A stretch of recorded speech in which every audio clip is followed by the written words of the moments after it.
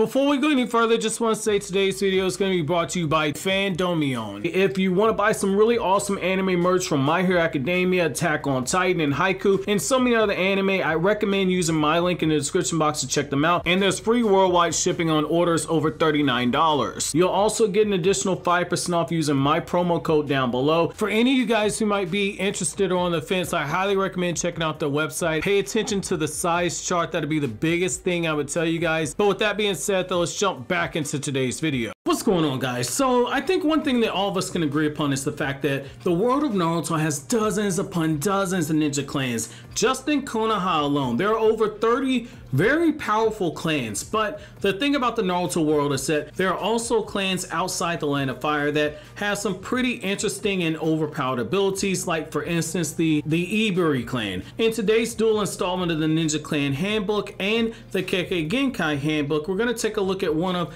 the deadliest clans in the Land of Fire, which also happens to have the same honor of the Uchiha clan and the Uzumaki clan as being a clan that was either massacred or almost completely wiped out at some point because of their power. And that clan, once again, is the Iburi clan. So for those of you guys who are new, the Ninja Clan Handbook and the Kekkei Genkai Guide are two series on this channel where we explore everything in depth that you need to know about a certain Naruto clan and in some cases we focus exclusively on the Kekkei Genkais so as to continue giving every character and every clan and giving them the opportunity to have equal light shined onto them because in a series that has over 700 episodes it's very easy for some clans to be tossed to the side no matter how interesting they actually are. So the Iburi clan will be pretty familiar to some of you guys who watch the Kakashi Anbu arc and the Naruto Shippuden anime. So the clan pretty much stayed to themselves, living deep underground, deep inside the Land of Fire. The main jutsu was that of their Kekkei Genkai, which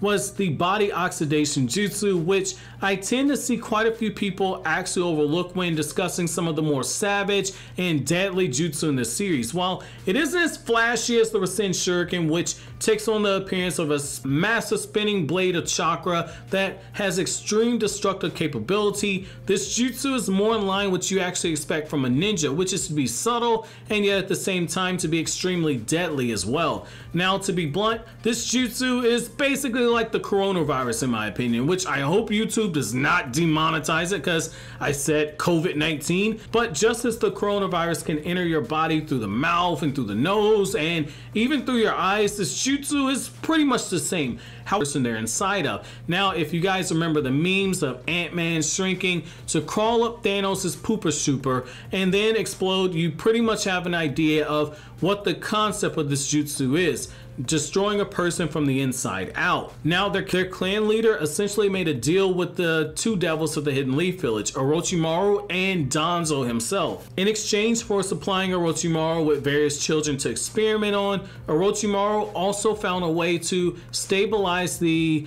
clan's Kekkei Genkai by using his curse seals. However, much like all things Orochimaru related, the devil itself is actually inside of the details. The curse seal that Orochimaru used was only able able to partially stabilize the effects of the Kekkei Genkai.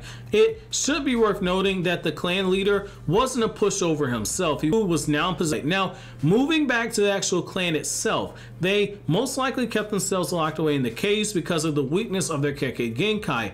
The clan also chose to forego the tradition of having tombstones in order to honor the dead, instead choosing to honor the actual dead by planting trees. Now, it was due to this weakness that Orochimaru eventually made them his prey, hoping to offer them hope via his curse seals that partially stabilized the Kekkei Genkai and gave them some semblance of having a normal life Eventually, Orochimaru killed off the clan due to him wanting to find a way to transfer their power onto him. Because Orochimaru took the phrase, I want all the smoke, he took that literally. However, that's going to be it for this latest installment of the Ninja Clan Handbook and the Kekkei Genkai Handbook. How do you guys feel about the clan that Orochimaru slaughtered? And what do you think about this theme that you've seen with Naruto clan so far, where the more powerful and the more deadly a clan's jutsu are, the more likely they are to be eliminated. Orochimaru, the Uzumaki clan were essentially ganged up on and destroyed